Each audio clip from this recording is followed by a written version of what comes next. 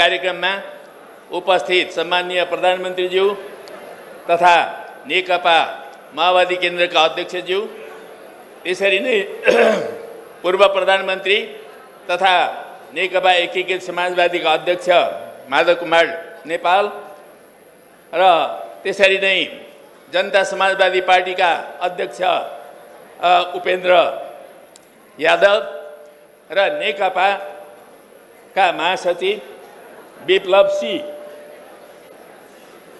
साथसाथै हाम्रो उप प्रधानमन्त्री नारायण काजी श्रेष्ठज्यू।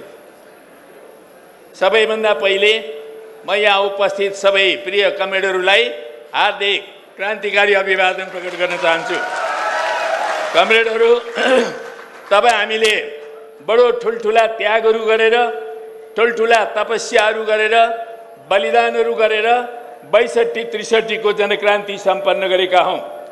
त्यो सम्पन्न भइसकेपछि हाम्रो देश समाजवादी क्रान्ति र रूपान्तरणको नयाँ युगमा प्रवेश गर्यो।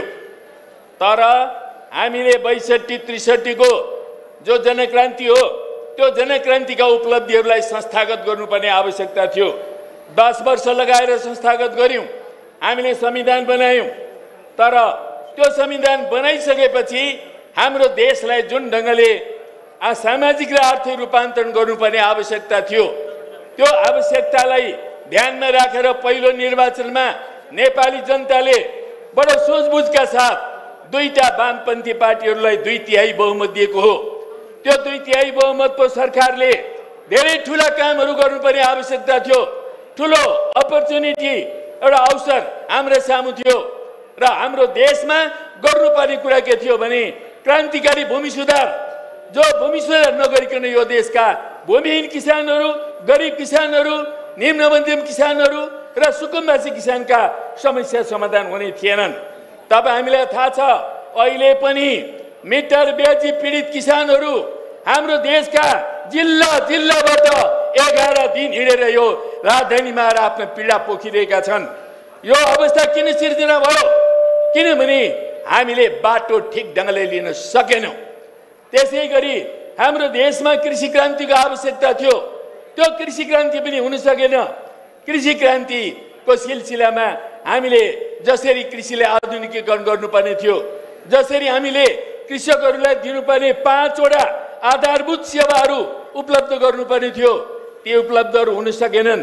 र हाम्रो देशलाई जसरी यान्त्रिकीकरणको दिशामा लानुपर्ने थियो त्यो पनि हुन सकेन। साथसाथै हाम्रो देशमा जुन ढङ्गले राष्ट्रिय औद्योगिकरणको आवश्यकता थियो त्यो राष्ट्रिय औद्योगिकरणको दिशातर्फ पनि देश अगाडि बढ्न सकेन। हाम्रो देशमा कृषिजन्य उद्योगहरू बनाउन सक्छौँ पानीजन्य उद्योग बनाउन सक्छौँ खानीजन्य उद्योग बनाउन सक्छौँ पर्यटनजन्य उद्योग बनाउन सक्छौँ। हाम्रा देशका राष्ट्रिय उद्योग धन्दाहरू भनेका यिनै नेपाली विशेषता अनुरूपका उद्योगहरू हुन्छन्। तर ती कुराहरू पनि हामीले गर्न सकेनौँ। दुई तिहाईको बहुमत हुँदा पनि हामीले गर्न सकेनौँ। यो देशमा त्यो नेतृत्वले गर्न सकेन। त्यसले गर्दाखेरि आज कमेडहरू हामीले शिक्षा र स्वास्थ्यमा हेर्नुहोस् कस्तो विकराल विकृतिहरू फैलिरहेका छन्। हाम्रा युवाहरू आज अस्ट्रेलिया पुग्न बाध्य भइरहेका छन्। पढ्नको लागि हाम्रो विडम्बनाको कुरा हो। हाम्रा देशका युवा श्रमिकहरू खाडी र मलेसिया पुग्न बाध्य भइरहेका छन्। यो अर्को विडम्बनाको कुरा हो। यस्ता विडम्बनाहरू आज हामी जो आज भोग्दैछौँ। यो भोग्नुको कारण के हो? तब हामीले गम्भीरतापूर्वक सोच्नुपर्ने बेला आएको छ। र हामीले आज राजनीतिक रूपमा हामी एक किसिमको अन्यलमा छौँ। कहिलेसम्म कुन सरकार टिक्छ भनेर हामीले घोत्लिनुपर्ने स्थिति छ। राजनीतिक रूपमा आर्थिक रूपले हेर्नुहोस् देशको अर्थतन्त्रबाट जर्जर भएर गइरहेको छ। अहिले पछिल्लो अवधिमा अन्तर्राष्ट्रिय पक्षको कारणले केही सुधार भयो भने पनि खास गरी रिमिटेन्सले सुधार भइरहेको छ। अब देश कृषि प्रधान होइन रिमिटेन्स प्रधान देश हुन लागिरहेको छ कमेडहरू यसकारणले हामीबाट होसियार भएर जानुपर्ने आवश्यकता छ यति बेला। त्यही ढङ्गले हामीले हाम्रो देशका समग्र कुराहरूलाई ध्यानमा राखेर हेर्ने हो भने राष्ट्रियता झन् ठुलो सङ्कटमा छ। आज देशको हाम्रै देशको भूभाग आज हाम्रो भन्न पाइरहेका छैनौँ। विदेशी सेनाहरू हाम्रो भूभागमा बसिरहेका छन्। सिमाना अङ्कित छैन। एक्काइसौँ शताब्दीको तेस्रो दशकमा छौँ। त्यसो हुनाले आदरणीय कमेडहरू हामीले जबसम्म यो देशका क्रान्तिकारीहरू आमूल परिवर्तनवादीहरू समाजवादीहरू देशभक्तहरू प्रगतिशील शक्तिहरू एकताबद्ध भएर उभिँदैनौँ। तबसम्म यो देशमा आमूल परिवर्तन सम्भव हुँदैन। त्यसै कारणले यो कुरालाई महसुस गर्दै अहिले जुन प्रकारको यो मोर्चा बनेको छ मलाई लाग्छ यो मोर्चाको निर्माण पहिलो पाइला हो। यो पहिलो पाइला मात्रै हो। सिङ्गो देशका समस्त देशभक्तहरूलाई समस्त वामपन्थीहरूलाई समस्त समाजवादीहरूलाई समस्त क्रान्तिकारीहरूलाई हामीले एकताबद्ध नगरेसम्म हाम्रो देशमा सही विकल्प निर्माण हुन सक्दैन। त्यसो हुनाले हामीले यो मोर्चालाई अझै व्यापक बनाउनु पर्ने आवश्यकता छ। अझै विस्तार गर्नुपर्ने आवश्यकता छ। म चारै दलका नेताहरूलाई आग्रह गर्न चाहन्छु कि यो मोर्चा खालि सत्तालाई टिकाउने मोर्चा मात्रै नबनोस्। यो मोर्चा साँचो अर्थमा आमूल परिवर्तनको मोर्चा बनोस्। यो मोर्चा सम्पूर्ण वामपन्थीहरूलाई एकताबद्ध गर्ने मोर्चा बनोस्। यसरी मात्रै हामी यो देशको भविष्यलाई उज्यालो बनाउन सक्छौँ।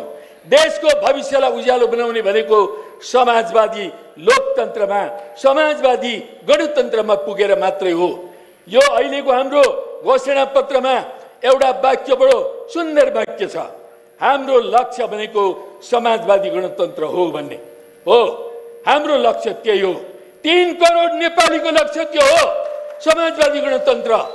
समाजवादी गणतन्त्रमा नपुगेसम्म आजका जुन शोषण छन् दमन छन् अन्याय छन् अत्याचार छन् त्यो कुरा समाप्त हुँदैन। त्यस कारणले यिनीहरूलाई समाप्त गर्ने हो भने एक मात्र विकल्प समाजवाद हो समाजवाद। हामीले यो कुरालाई बुझ्नुपर्ने हुन्छ।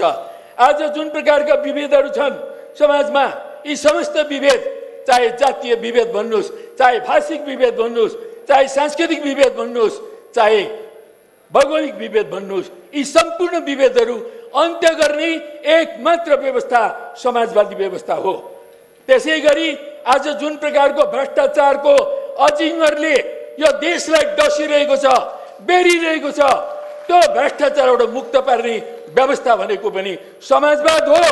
समाजवादले मात्रै भ्रष्टाचार पनि गर्न चाहन्न भ्रष्टाचार अरूलाई गर्न पनि दिन्न भन्ने व्यवस्थाको स्थापना गर्न सक्छ।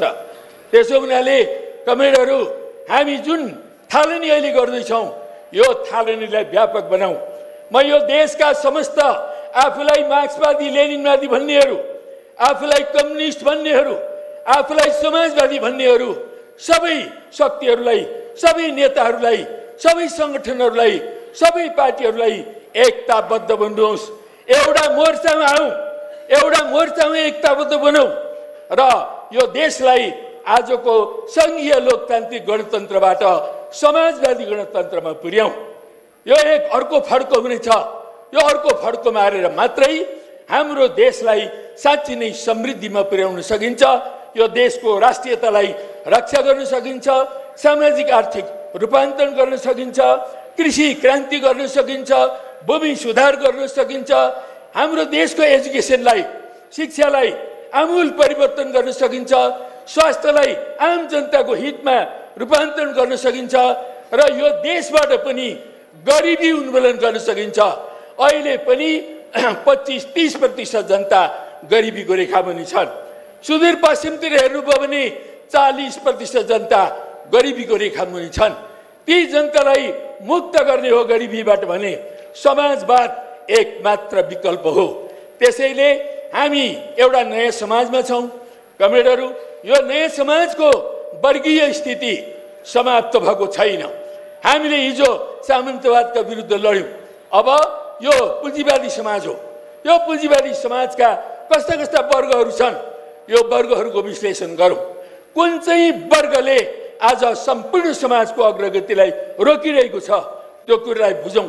कुन चाहिँ वर्गको प्रतिनिधि प्रतिक्रियावादी शक्तिले आज यो समग्र समाजको अग्रगतिलाई रोकिरहेको छ त्यसलाई चिनौँ र सम्पूर्ण जनताका शक्तिहरू श्रमिक जनताका शक्तिहरू किसान जनताका शक्तिहरू विद्यार्थी युवाहरूका शक्तिहरू महिलाहरूका शक्तिहरू किसानहरूका शक्तिहरू र सम्पूर्ण यो बिचका निम्न र मध्यम वर्गका साथीहरूलाई एकताबद्ध गर्दै एउटा विराट राष्ट्रव्यापी संयुक्त मोर्चा वर्गीय मोर्चा निर्माण गरेर हामी समाजवादको लक्ष्यतर्फ अगाडि बढौँ।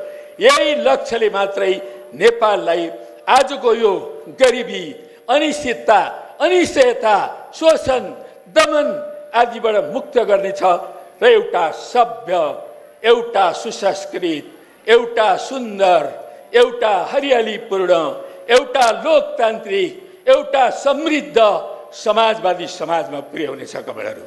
धन्यवाद।